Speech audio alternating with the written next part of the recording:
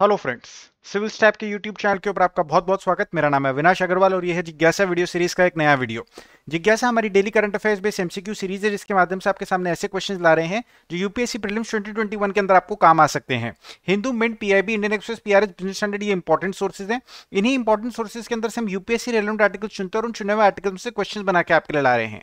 आपको जिज्ञासा daily basis पे देखनी चाहिए। न्यूज़ पेपर के पाँच इंपॉर्टेंट आर्टिकल्स पाँच ने क्वेश्चन के माध्यम से आपको सिखा दिए जाते हैं सॉल्व करवा दिए जाते हैं नोट्स बनवा दिए जाते हैं। सच की एग्ज़ाम में जो सवाल करंट अफेयर्स के आने वाले हैं, उन सवालों को आप बढ़िया ढंग से टैकल कर सके। टेंथ एंड इलेवंथ अक्टूबर की जिज्ञासा है, पीछे की सारी जिज्ञासा आगे की सारी जिज्ञासा आपको देखनी चाहिए। मात्र 20-25 मिनट का आपका इन्वेस्टमेंट और बहुत सारी नई नई चीज़ें आपको सिखा दी जाती है। Stay home stay safe stay online अब अपना अपने फैमिली अपने कम्युनिटी सबका ख्याल रखिए, कोरोना को स्प्रेड मत करिए। जो भी तैयारी करनी है, घर बैठे करिए सेफली करिए ऑनलाइन करिए सिविल स्टाफ के साथ जुड़ के करिए, क्योंकि हमने कई सारे कोर्सेज आपकी तैयारी के लिए लॉन्च कर दिए दोस्तों।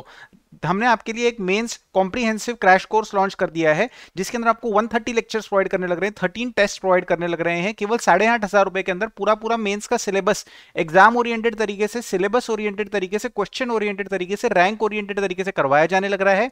आपको वीडियोज़ हैंडआउट्स आंसर राइटिंग हर चीज़ दी जाने लग रही है, जो कि आपको एग्ज़ाम क्लियर करने के लिए रिक्वायर्ड है। बहुत ही शानदार और बहुत ही किफायती और रैंक ओरिएंटेड ये कोर्स इसके अंदर आपको जुड़ना चाहिए।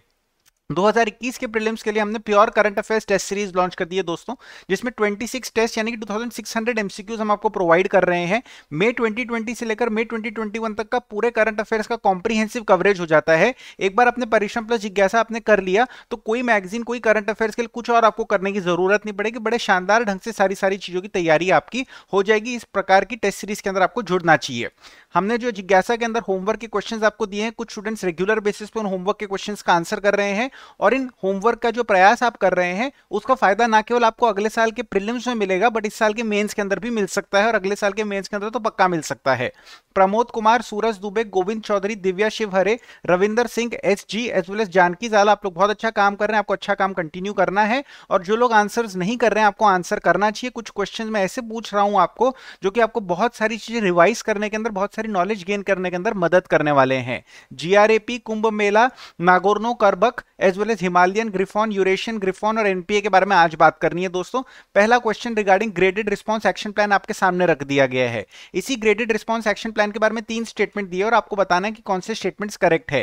क्या ये एक एयर पोल्यूशन अबेटमेंट मेजर है, यानी कि कम करने वाला मेजर है, जो कि एयर पॉल्यूशन को कंट्रोल करने में हेल्प करेगा in the National Capital Region क्या it is tiered by EPCA that is environmental protection environment protection prevention and control authority क्या ये मैंडेट करता है ban on the usages of diesel generators in the region when the air quality reaches severe plus level तीन statement regarding GRAP आपको दे दी है। क्या है ये? कौन इसे स्टीयर करने लग रहा है? और इसके अंतर्गत एक ऑब्जेक्टिव फैक्ट आपके सामने रखा गया है। आपको बहुत सोच समझ के डिसाइड करना है कि कौन से स्टेटमेंट्स करेक्ट है। काफ़ी ज़्यादा ऑब्जेक्टिव ये क्वेश्चन है। डिफ़िकल्ट बन जाता है एग्ज़ाम के अंदर प्रिसाइसली क्योंकि बहुत सारी ऑब्जेक्टिव नॉलेज हमारे पास नहीं रहती है। तो एक इंपॉर्टेंट लर्निंग ये है कि इस प्रकार के important plan important policies important schemes जो भी गवर्नमेंट की है, उससे रिलेटेड जो भी ऑब्जेक्टिव पॉइंट्स है, वो आपको मालूम रहने चाहिए क्योंकि एग्ज़ाम के अंदर उन्हीं ऑब्जेक्टिव पॉइंट्स को घुमा के क्वेश्चन बनाकर दिया जाता है। जो भी आपका आंसर हो, उसे आप लॉक करेंगे। आंसर आपके सामने रख रहा हूँ दोस्तों। Answer to this question is A पहले दो स्टेटमेंट्स करेक्ट है, तीसरा स्टेटमेंट गलत है। आप देख लीजिए, दिल्ली के अंदर जो है, वापस से जो है एयर पोल्यूशन को कंट्रोल करने की जो स्टेप्स है, जो मेजर्स जो लिए जाने हैं, उनके बारे में बातचीत शुरू हो चुकी है विंटर आने लग रहा है। दिल्ली के अंदर एज वेल एज अन्य रीजन ऑफ़ नॉर्थ इंडिया के अंदर एयर पोल्यूशन का प्रॉब्लम वापस आने लग रहा है। इसीलिए हम वापस से ग्रेडेड रिस्पॉन्स एक्शन प्लान का नाम न्यूज़ में देखने लग रहे हैं। ये ग्रेडेड रिस्पॉन्स एक्शन प्लान की पूरी जानकारी मैं आपको देने वाला हूँ। सुप्रीम कोर्ट ने 2016 के अंदर इसे अप्रूव करा था। इस प्लान को फॉर्मुलेट करने के अंदर ईपीसीए ने बहुत ही अहम भूमिका निभाई थी और ईपीसीए ही इसे जो है आज भी स्टीयर करने लग रहा है। ये जो प्लान है, ये एक इमरजेंसी प्रकार का मेजर है, जो कि आपका इंडस्ट्रियल वेहिकुलर कंबशन एमिशन को कंट्रोल करने के अंदर हेल्प करता है और खासकर विंटर्स के अंदर हमारे को इस प्लान के बारे में काफ़ी कुछ पढ़ने को मिलता है, क्योंकि विंटर्स के अंदर जो स्मॉक का प्रॉब्लम है फॉक का प्रॉब्लम है as well as stubble burning का प्रॉब्लम है, ये सारे प्रॉब्लम दिवाली का टाइम पे जो फायर क्रैकर का जो थोड़ा पोल्यूशन होता है, ये सारी चीज़ों को ध्यान में रखते हुए नॉर्थ इंडिया के अंदर पोल्यूशन एक बहुत ही बड़ा प्रॉब्लम बन जाता है। तो उसी चीज़ को ध्यान में रखते हुए इस मेजर के अंदर हमने क्या करा है, मैं आपको एक फोटोग्राफ दिखाना चाहता हूँ कि अलग अलग जो एयर क्वालिटी इंडेक्स है, उसके हिसाब से हमने मेजर डिफाइन कर रखे हैं कि अगर एयर क्वालिटी इंडेक्स हमारा मॉडरेट होता है पुअर होता है वेरी पुअर होता है सीवियर होता है या सीवियर प्लस होता है तो क्या प्रकार के स्टेप्स हमारे को लेने हैं सच दैट कि हम पॉल्यूशन को कम कर सके? जैसे अगर सीवियर प्लस हो जाता है तो entry of trucks into Delhi को बंद करना है कंस्ट्रक्शन एक्टिविटी को बंद कर देना है ऑड इवेंट स्कीम लागू कर देनी है टास्क फोर्स एडिशनल स्टेप्स ले सकते हैं सच दैट कि स्कूल्स को शट डाउन कर दिया जा सके सीवियर प्लस के अंदर। सीवियर के अंदर क्या स्टेप्स लेने हैं?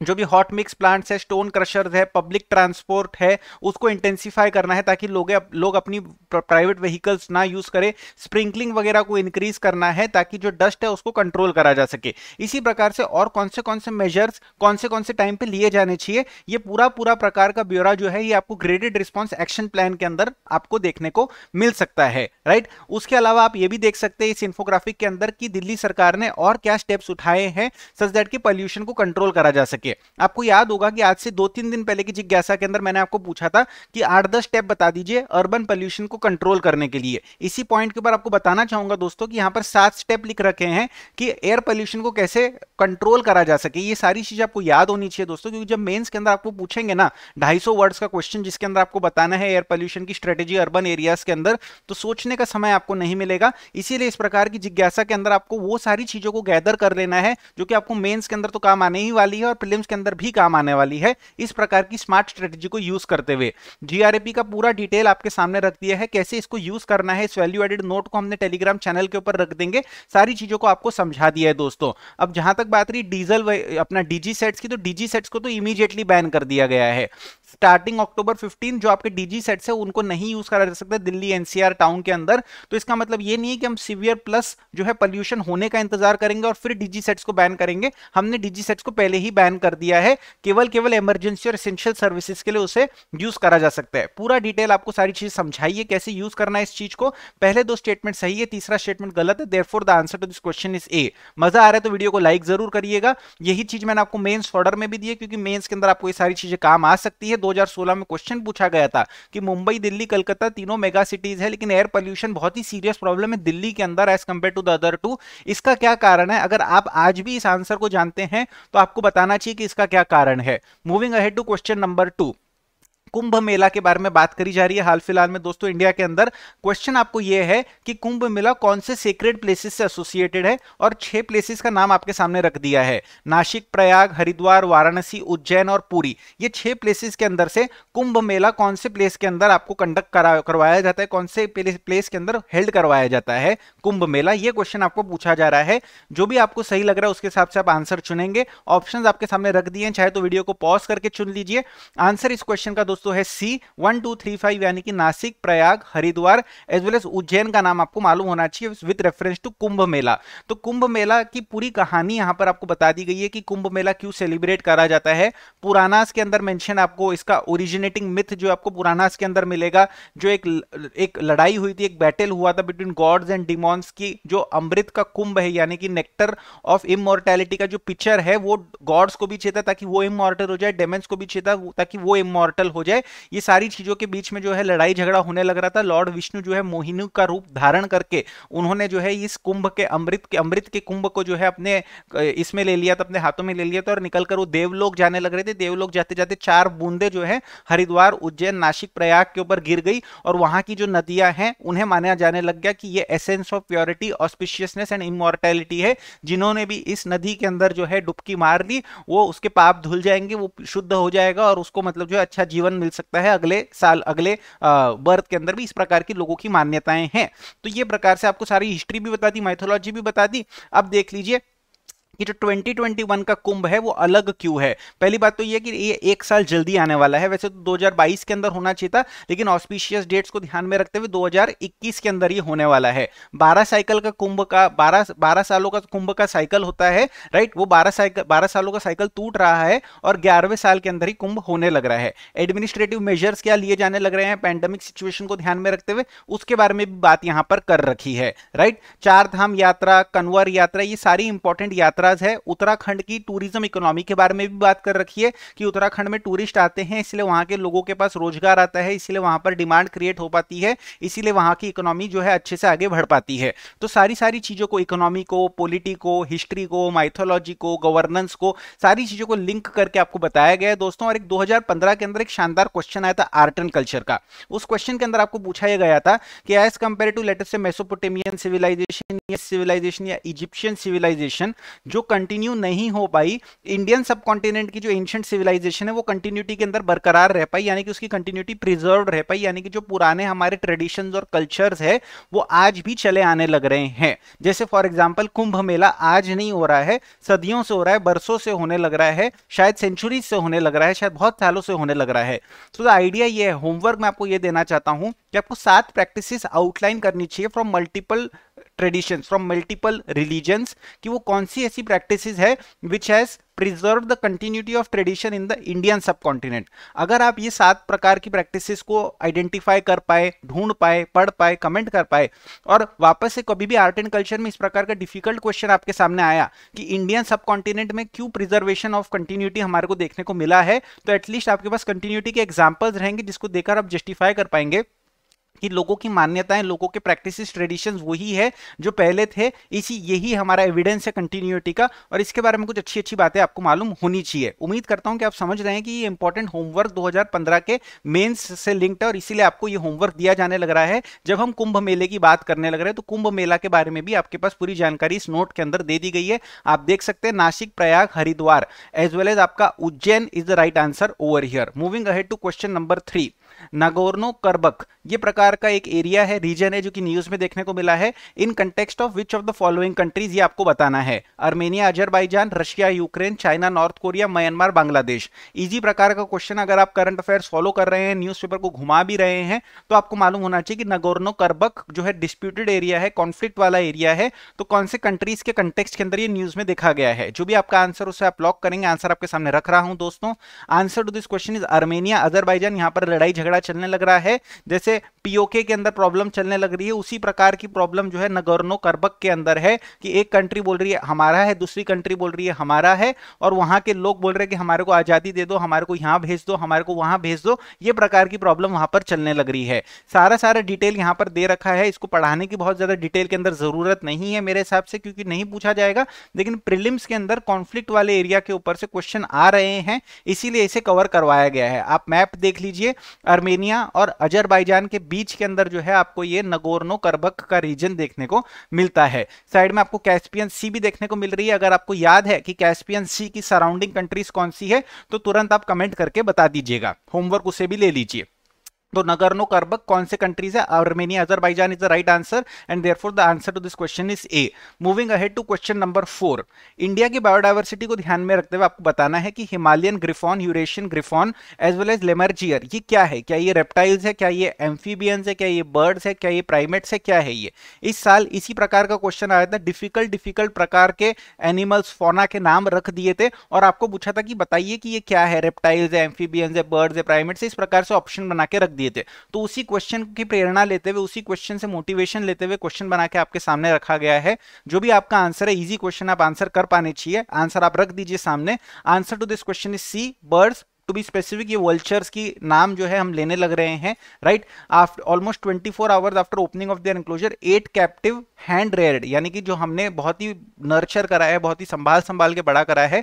ओरिएंटल व्हाइट बैक्ड वल्चर उनके बारे में न्यूज़ आई है कि वो कैसे उन्होंने जो है वाइल्ड में वल्चर्स के साथ मिक्स करे, वहाँ पर उन्होंने लंच करा और फिर वो लोग जो है अपने अपने सब रिस्पेक्टिव जेल्स के अंदर, अपने रिस्पेक्टिव कंजर्वेशन सेंटर्स के अंदर, अपने रिस्पेक्टिव एनक्लोजर्स के अंदर केजेस के अंदर वापस आ गए। तो देखिए दोस्तों, ये न्यूज़ उतनी ज़्यादा इंपॉर्टेंट नहीं है, जितना ज़्यादा इंपॉर्टेंट है ये नाम Himalayan griffon as well as white back vulture ये सारी चीज़ों के नाम आपको मालूम होने चाहिए, क्योंकि एग्ज़ाम के अंदर ये नाम आपको पूछे जा सकते हैं। अब एक इंपॉर्टेंट चीज़ आपको समझाने वाली ये है दोस्तों दोस्तों कि जो वल्चर्स ऑफ़ इंडिया है those vultures were under threat diclofenac का प्रॉब्लम के बारे में आपने सुना होगा कि फार्मर जो है कैटल के कैटल रेजिंग के अंदर डाइक्लोफेनाक यूज़ करते हैं। क्यों यूज़ करते हैं? क्योंकि कैटल को अगर बीमारी होती है, बुखार होती है, कोई पेन होता है तो डाइक्लोफेनाक कैटल को हेल्प करता है। लेकिन वही डाइक्लोफेनाक कंज्यूम करा हुआ कैटल जब मर जाता है और उस मरे हुए कैटल के ऊपर वल्चर आके फ़ीड करता है तो डाइक्लोफेनाक की वजह से क्या होता है? डाइक्लोफेनाक खाने की वजह से जो अंडा वल्चर्स रखते हैं, वो अंडे का शेल कमज़ोर हो जाता है as a result of which उसके अंदर प्रॉब्लम होती है, उसकी रेयरिंग के अंदर प्रॉब्लम होती है। जो रीनल फेलियर की बात करी गई है किडनी फेलियर की बात करी गई है वल्चर्स के अंदर, वो भी डाइक्लोफेनाक के प्रॉब्लम से एसोसिएटेड है। तो ये इंपॉर्टेंट वल्चर्स के नाम आपके सामने रख दिए हैं। आप देख सकते हैं सारे सारे नाम इंपॉर्टेंट है मेरे हिसाब से एग्ज़ाम के अंदर। और ये लेमरजियर जो यहाँ पर नाम था, इसी को उठा के हमने क्वेश्चन के अंदर भी रखा था। इसी पॉइंट के ऊपर मैं आपको बताना चाहूँगा दोस्तों कि इंडिया के अंदर वेरियस वेरियस फोना को प्रिजर्व कंजर्व करने के हिसाब से हमने प्रोग्राम लॉन्च कर रखे हैं। जैसे for example tiger as well as हमने एलिफेंट एज वेल एज हमने dolphin olive ridley turtles right as well as हमारा क्लाउडेड लेपर्ड तो ये बहुत सारे ऐसे फोनाज है जिन्हें प्रिजर्व कंजर्व करने के हिसाब से इंक्लूडिंग वल्चर के लिए हमने प्रोग्राम लॉन्च करा हुआ है। जैसे हमारा ग्रेट इंडियन बस्टर्ड के लिए प्रोग्राम लॉन्च करा हुआ है। तो वो कौन से प्रोग्राम्स उनका स्पेसिफिक नाम आप निकाल लीजिए, कब लॉन्च करे गए थे? और उनके बारे में थोड़ा सा निकाल लीजिए। आप सोचेंगे कि बहुत ही एक्सटेंसिव होमवर्क दिया जा रहा है। लेकिन मैं आपको समझाना चाहता हूँ कि क्यों इंपॉर्टेंट है? बायोडाइवर्सिटी से रिलेटेड चाहे मेन्स में क्वेश्चन आए, चाहे प्री में क्वेश्चन आए, आपको ये सारी चीज़ें मालूम होनी चाहिए। अगर बायोडाइवर्सिटी प्रिजर्वेशन कंजर्वेशन से रिलेटेड अगर आप कोई मेंस के अंदर क्वेश्चन लिख रहे हैं और आप भारत सरकार के लॉन्च करे गए इंपॉर्टेंट प्रोग्राम्स का नाम नहीं लिख कर आ रहे हैं तो आप अपने क्वेश्चन को अधूरा छोड़ के आ रहे हैं। आप अपने क्वेश्चन के अंदर वर्ड्स ही इंपॉर्टेंट वाले डालकर नहीं आ पाएँगे। ऑन द अदर हैंड अगर आप जो बायोडाइवर्सिटी से रिलेटेड क्वेश्चन है, उसके अंदर ये प्रोग्राम्स का नाम लिखकर आ सकते कॉन्फिडेंटली एक एक लाइन के साथ तो आप एग्जामिनर को बहुत ही अच्छी बहुत ही स्पेसिफिक और बहुत ही क्रेडिबल इन्फॉर्मेशन देकर आएँगे और वो ये नाम देखकर आपको अच्छे नंबर दे पाएगा। तो इस प्रकार से आपको सारी चीज़ों को सोचना है कि ये जो टॉपिक है, वो हमारे एग्ज़ाम से स्पेसिफिकली कैसे रिलेटेड है और इनडायरेक्टली कैसे रिलेटेड है। उम्मीद करता हूँ कि आप होमवर्क ज़रूर करेंगे और ये क्वेश्चन का समझ में आ चुका होगा आपको आंसर की इसका है C moving ahead to question number five एक बहुत ही ज़्यादा इंपॉर्टेंट डिबेट छिड़ी हुई है इंडिया के अंदर रिगार्डिंग नॉन परफॉर्मिंग एसेट उसी नॉन परफॉर्मिंग एसेट को ध्यान में रखते हुए एक आपके सामने टेबल प्रकार का बनाकर रख दिया है कि टाइप ऑफ़ एसिड और उसका डिस्क्रिप्शन क्या है? ये आपको बताना है कि कौन से पेयर्स करेक्टली मैच्ड है। क्या स्ट्रेस्ड एसिड यानी कि जो non performing asset up to 60 days है, क्या उसे हम स्ट्रेस्ड एसिड कहते हैं? क्या सब स्टैंडर्ड एसिड हम उस नॉन परफॉर्मिंग एसिड को कहते हैं, जो कि एनपीए रह चुका है फॉर अप टू 12 मंथ्स क्या डाउटफुल एसिड हम उस एनपीए को कहते हैं, जो कि एनपीए रह चुका है फॉर मोर देन 12 मंथ्स आपको सोच के बताना है कि जो एसिड का नाम रखा हुआ है और जो उसका डिस्क्रिप्शन रखा हुआ है, वो कौन सा पेयर करेक्टली मैच्ड है? Stressed asset substandard asset doubtful assets ये वो प्रकार के टर्म्स है जो कि आपके न्यूज़पेपर के अंदर आए दिन आपको देखने को मिलते हैं और एग्ज़ाम के अंदर प्रीलिम्स के अंदर आपको इसी प्रकार का क्वेश्चन बनाकर दिया जा सकता है। जो भी आपका आंसर उसे आप लॉक करेंगे। आंसर आपके सामने रख रहा हूँ दोस्तों। Answer to this question is C पहला स्टेटमेंट गलत है, पहला पेयरिंग गलत है। अगर आप जानते हैं कि पहले पेयरिंग में क्या गलती है तो आप इमीडिएटली कमेंट करके बता दीजिए, मैं पूरी कहानी को आगे लेकर चलता हूँ। आरबीआई ने सुप्रीम कोर्ट को कहा है कि जो आपने स्टे लगा दिया है classification of non performing assets के ऊपर, ये बहुत ही खराब आपका डिसीज़न है, इसका बहुत ही खराब इंप्लीकेशन बैंकिंग सेक्टर के ऊपर हो सकता है और इस प्रकार के स्टे को आपको इमीडिएटली लिफ्ट कर लेना चाहिए। अब देखिए दोस्तों नॉन परफॉर्मिंग एसेट्स को आइडेंटिफाई करना उतना ही इंपॉर्टेंट है, जितना बॉडी के सड़े हुए पार्ट्स को आइडेंटिफाई करना इंपॉर्टेंट है। क्योंकि अगर मेरा ये बॉडी का पार्ट सड़ चुका है, अगर मेरे को इसको काट के फेंकने की रिक्वायरमेंट है तो मेरे को काट के फेंकना पड़ेगा, चाहे मुझे अच्छा लगे या ना लगे। क्यों? क्योंकि अगर मैं नहीं करूँगा तो इसका जो पॉइजन है, इसका जो रॉट है, वो पूरे पूरे बॉडी को, पूरे पूरे सिस्टम को खराब कर देगा। सो द आइडिया इज़ कि जब हम नॉन परफॉर्मिंग एसेट्स को क्लासीफाई करते हैं तो हम ये आइडेंटिफाई करते हैं कि बैंक्स के कौन से एसेट्स के अंदर कितनी ज़्यादा प्रॉब्लम आ चुकी है।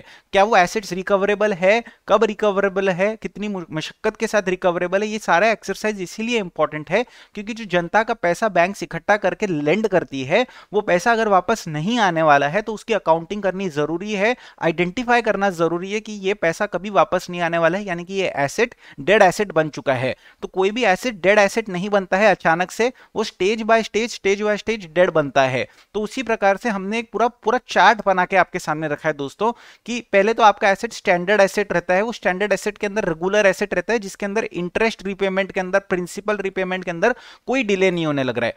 फिर उसी स्टैंडर्ड एसेट के अंदर आपका एसेट स्ट्रेस्ड एसेट भी बनता है। स्ट्रेस्ड एसेट यानी कि मतलब क्या है कि आपका जो है इंटरेस्ट पेमेंट के अंदर या प्रिंसिपल रिपेमेंट के अंदर वन टू थर्टी डेज़ का डिले है thirty one to sixty days का डिले है sixty one to ninety days का डिले है। यानी कि अगर आपके रिपेमेंट के अंदर डिले है तो आपको स्ट्रेस्ड एसेट माना जाता है। वन टू थर्टी डेज़ का भी डिले है तो भी स्ट्रेस्ड माना जाएगा। थर्टी वन टू सिक्सटी का है तो भी स्ट्रेस्ड माना जाएगा। सिक्सटी वन टू नाइनटी का तो भी स्ट्रेस्ड माना जाएगा। एसएमए का फुल फॉर्म आपको लिख लेना चाहिए। स्पेशल मेंशन अकाउंट की बात हो रही है। तो स्पेशल मेंशन अकाउंट ज़ीरो का मतलब वन टू थर्टी डेज़ का delay special mention account one का मतलब thirty one to sixty days का delay special mention account two का मतलब sixty one to ninety days का डिले ये आपको मालूम होना चाहिए। फिर नॉन परफॉर्मिंग एसेट कौन सा है? कि अगर नाइनटी डेज़ से ज़्यादा का डिले हो गया तो आपका एसेट बन गया नॉन परफॉर्मिंग एसेट उसके अंदर भी सब क्लासिफिकेशन है। सब स्टैंडर्ड एसेट यानी कि एनपीएफ और अप टू 12 मंथ्स 12 मंथ्स तक अगर आपका एसेट नॉन परफॉर्मिंग है तो उसे हम सब स्टैंडर्ड कहेंगे। ग्रेटर देन 12 मंथ्स अगर आपका एसेट नॉन परफॉर्मिंग रह जाता है तो उसे डाउटफुल एसेट कहेंगे। और अगर कोई बैंक या आरबीआई कोई भी एसेट को नॉन रिकवरेबल क्लासीफाई कर देती तो उसे लॉस एसेट मान लिया जाएगा, यानी कि वो पैसा वापस नहीं आने वाला है। तो ये क्लासिफिकेशन आपको मालूम होना चाहिए और इसी प्रकार के क्लासिफिकेशन के ऊपर सुप्रीम कोर्ट ने स्टे लगा दिया और आरबीआई कहने लग रही है कि आप क्लासिफिकेशन क्लासिफिकेशन के ऊपर स्टे नहीं लगा सकते हैं। क्योंकि अगर आप इस क्लासिफिकेशन के ऊपर स्टे लगा देते हैं तो हमें मालूम ही नहीं पड़ेगा कि बैंकिंग सेक्टर के अंदर because of the pandemic because of the economic slowdown क्या प्रकार का प्रॉब्लम चलने लग रहा है? बैंक की बैलेंस शीट कितनी हेल्दी है, नहीं है, हमारे को कुछ मालूम नहीं पड़ेगा। नॉन परफॉर्मिंग एसेट एक प्रकार का कैंसर है, जो कि बैंक्स के पास पैसा कम छोड़ता है तो बैंक्स लैंड नहीं कर पाती है। जब बैंक्स लैंड नहीं कर पाएगी बैंक्स पास पैसा कम रहेगा तो अपनी एग्जिस्टिंग फंड्स के ऊपर इंटरेस्ट रेट्स को बढ़ा देंगे, क्योंकि उन्हें तो कैसे भी करके प्रॉफिट प्रॉफिट कमाना पड़ेगा ताकि जनता को उनका पैसा रिटर्न करा जा सके। अगर बैंक्स लेंड नहीं कर पाएगी तो बैंक्स एम्प्लॉयमेंट जनरेशन के अंदर मदद नहीं कर पाएगी, क्योंकि अगर बैंक्स लेंड नहीं कर है तो इन्वेस्टमेंट नहीं हो पाएगा इन्वेस्टमेंट नहीं हो पाएगा तो एम्प्लॉयमेंट जनरेशन नहीं हो पाएगा। तो नॉन परफॉर्मिंग एसेट एक बहुत बड़ा प्रॉब्लम है, जिसे हमारे को टैकल करना पड़ेगा। इसी पॉइंट के ऊपर मैं आपको एक बहुत ही फ्यूचरिस्टिक क्वेश्चन पूछना चाहता हूँ दोस्तों, कि आपको पाँच रीसेंट स्टेप्स बताने रहने की रेडीनेस रखनी है कि सरकार ने हाल फ़िलहाल में क्या पाँच स्टेप्स लिए हैं एनपीए को कंट्रोल करने के लिए या आरबीआई ने क्या स्टेप्स लिए हैं? एनपीए को कंट्रोल करने के लिए आपको इसलिए मालूम रहना चाहिए क्योंकि आप 20 में मेन्स लिख रहे हैं या 21 में मेन्स लिख रहे हैं, वो टाइम तक एनपीए का प्रॉब्लम बढ़ जा चुका होगा। एंड वो टाइम के ऊपर आपको मालूम रहना चाहिए कि क्यों बढ़ा है और आपको मालूम रहना चाहिए कि वो प्रॉब्लम को टैकल करने के लिए क्या स्टेप्स लिए गए हैं। इसीलिए आपको बोल रहा हूँ कि आप ये मालूम रखिए। आप अभी से पता करके रख लीजिए कि पाँच स्टेप्स कौन से हैं और अपनी मेमोरी को अपडेट करते रहिएगा। जब भी कोई नया एनपीएस से रिलेटेड न्यूज़ आती है तो आपको ये पाँच स्टेप्स याद आने चाहिए, क्योंकि आप आईएएस बनना चाहते हो तो आपको सोल्यूशन देना आना चाहिए हर प्रॉब्लम का। चाहे पोल्यूशन के प्रॉब्लम का सोल्यूशन हो, चाहे बायोडाइवर्सिटी के प्रॉब्लम का सोल्यूशन हो, चाहे एनपीए के प्रॉब्लम का सोल्यूशन आपको कोई भी प्रॉब्लम का सोल्यूशन देना आना चाहिए और वही सोल्यूशन मैं आपसे मांगने लग रहा हूँ इन होमवर्क के माध्यम से। उम्मीद करता हूँ कि आप होमवर्क बड़े ईमानदारी से करने वाले हैं। आप देख लीजिए स्टेटमेंट ए जो है वो आपका गलत बन जाता है, इसी स्टेटमेंट वन आपका गलत बन जाता है and therefore the answer to this question is C ये हो गई दोस्तों सारी कहानी इस जिज्ञासा की। अब समय आ गया अच्छी बात करने का। और अच्छी बात यह है कि no matter what people tell you words and ideas can change the world इसी पॉइंट के ऊपर दोस्तों नेल्सन मंडेला और महात्मा गांधी का नाम लेना चाहूँगा कि उनके वर्ड्स और आइडियाज़ की वजह से दुनिया के ऊपर कितना भारी चेंज पड़ा है। लोगों को आज तक उनके वर्ड्स और आज तक उनके आइडियाज़ जो है मूव करने लग रहे हैं। उसी बहुत ही मैक्रो एग्ज़ाम्पल को अगर हम हमारे छोटे से लाइफ के अंदर इंप्लीमेंट करें दोस्तों तो आप जो भी अपने मुँह से वर्ड्स निकाल रहे हैं आइडियाज़ आप निकाल रहे अपने माइंड के अंदर से, उनके ऊपर गौर ज़रूर करिएगा, क्योंकि उससे ऐसा हो सकता है कि आपके आजू बाजू में चार व्यक्तियों के ऊपर अच्छा इंपैक्ट जा सके या बुरा इंपैक्ट जा सके। सिमिलरली जो भी आपके वर्ड आइडियाज़ है, जो आप ग्रहण करने लग रहे हैं, जो आप इंटरनलाइज करने लग रहे हैं, वो वर्ड आइडियाज़ ऐसे होने चाहिए जो कि आपकी दुनिया चेंज कर सके। फॉर एग्ज़ाम्पल मैंने आपको कुछ एडवाइस दिया तो अगर मेरा एडवाइस अगर आप कुछ अच्छा सीख कर अपने वर्ल्ड को चेंज कर सके तो वो रियलिटी बना सकते हैं आप, और सही में एक मेंटर की गाइडेंस से ही आप अपनी सक्सेस इंश्योर कर सकते हैं। मैं नहीं बोल रहा हूँ कि मैं वो मेंटर होना चाहूँ मैं बोल रहा हूँ कि जो भी आप अपने लाइफ का मेंटर चुने, ऐसा मेंटर चुने जो आपके वर्ड्स अपने आइडियाज़ के थ्रू आपकी दुनिया को चेंज कर सके और उसी प्रकार से आपको भी वर्ड्स और आइडियाज़ ऐसे शेयर करनी चाहिए जिसकी वजह से किसी का पॉजिटिव इंपैक्ट आपको देखने को मिले। इस प्रकार की बात इस रॉबिन विलियम्स के कोट के साथ मैं आपके साथ शेयर करना चाहता था। With this will bring the जिज्ञासा to an end thank you very much all the very best and Jai Hind